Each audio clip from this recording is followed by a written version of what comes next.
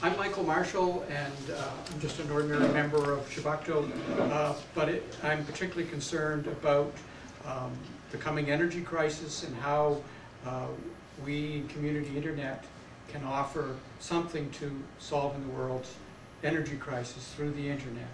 And uh, Terry has alluded to that, but I think we'll, I'll try and go into more detail.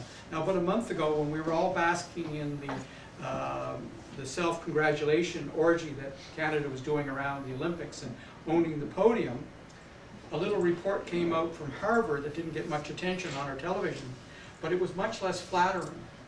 Now, it was not about Canada. It was a report to the Americans um, about all of the world. And you know, there's internet in every country, and this was very, was very exhaustive. It didn't just cover the, the, the biggies, your, you know, your, your Koreas against Canada. I mean, it covered everybody.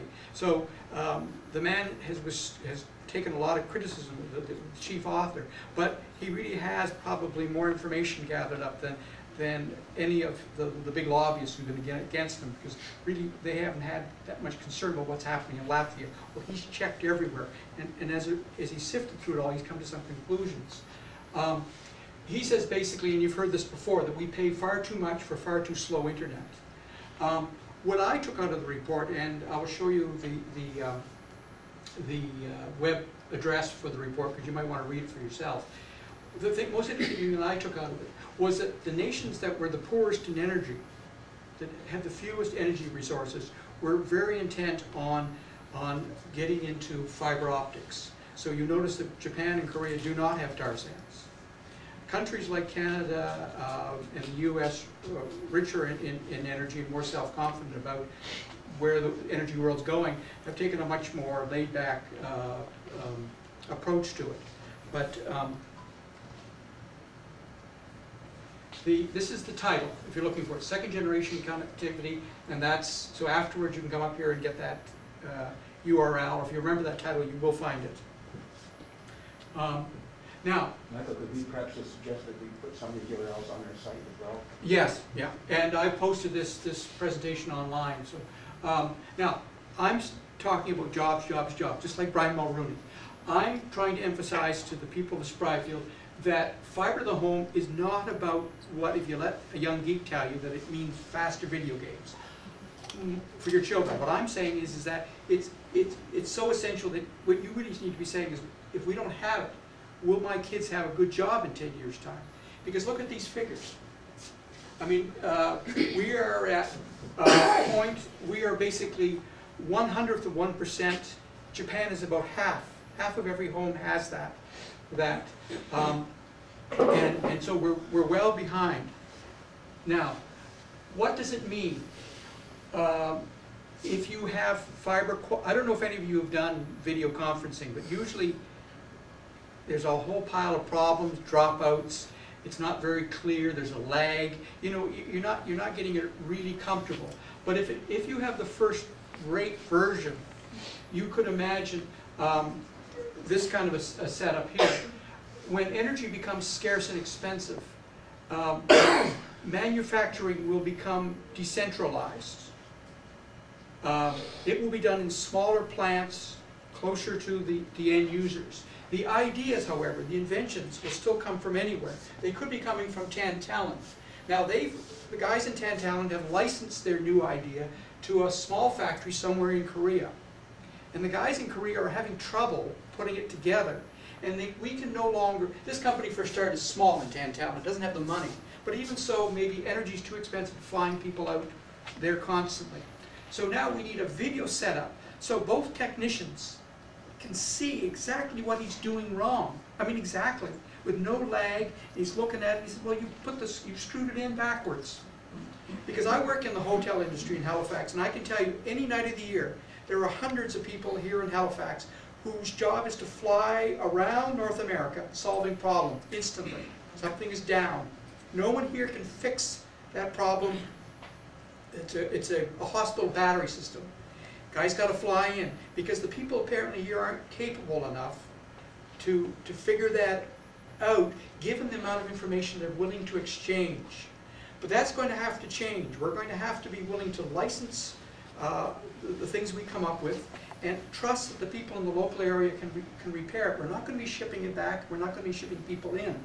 That will depend on really, really, really high quality, uh, uh, internet. It, it has to be sort of television at least quality, high definition tele, quality, with no lag in the audio or no lag in the movements of the hands, uh, if it's going to work. Since it doesn't now, even with the big buck boys, someone flies out and sees it, ah, that's your problem. You know, so I'm telling you that even the best companies in the world can't depend on a supplier, a small supplier having the kind of video quality that maybe fills the boardrooms at IBM, but hasn't filtered out to the rest of, of IBM. So we, we need to think about uh, what we're going to do with fiber to the, op- fiber to the home or to a small business. Beyond what Terry's large research institution, I'm saying that every small business, uh, you, you uh, repair um, ride-on lawnmowers, if they still exist in an energy crisis. But anyway, um, you may well, instead of having a salesman come and pitch you what to sell, to buy next year, or how to fix it, or shipping it off, you may well, you're just a small business fixing those kind of things. You may well have a video conferencing room where your mechanics will be in there talking to the guys who built it, whether that's in somewhere in Illinois or somewhere in, in Japan. That's what we're gonna have to look at. So we're not trying to say that the fiber to the, uh, fiber to the home is something that, that sort of is a gee whiz thing for well-to-do suburbs. It's for everybody, and it's for every little business. Now, I'm gonna try and emphasize, it, keep it really simple. You've heard a lot about old copper. Most of us are using cable or DSL over, over, from Aliant. We hear about fiber, we hear about fiber, wireless, we may get our television for, from satellite. The, the thing is, it's not how much information they can ship out in a second in most cases, it's how, how long a distance they can do that. In the distances within your home or a very small business from ten to hundred meters, at ten meters, they all work wonderful. You have ethernet probably in your home running from uh, your, uh, either your modem to your, your uh, computer or to your printer. That's just ordinary copper wire, works wonderful, very, very fast speeds. Um, your, when your wireless works, again, it pumps out a lot of stuff. Um, that's for, for short distances, but as you go to hundred meters, they start crashing unless you get more advanced hardware. Now, satellite, I'm taking right out of the picture because it's great for television, but it has a latency problem. You can't use it for phones very easily. So it's, you know, that's why you don't hear it discussed as, you know, why aren't we beaming this all to a satellite and sending it down? We wouldn't need all this wire. So it, it won't work.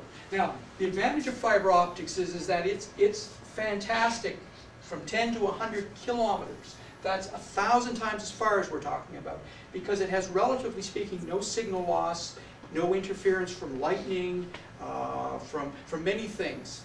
Um, They, they have to code it and they have to do a fair bit, but had, for, for dollars, what we're concerned about, it takes a lot less money to, to make that run hundred meters compared to uh, your copper technology.